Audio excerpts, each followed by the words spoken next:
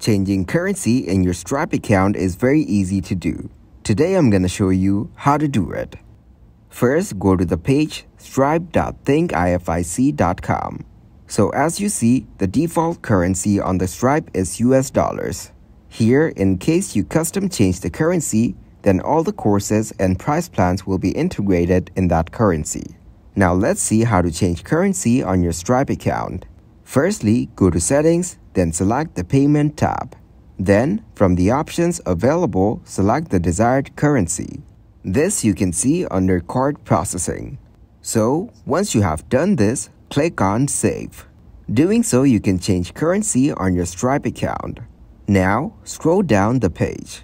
So, this is exactly the page where you need to change the currency, then save it.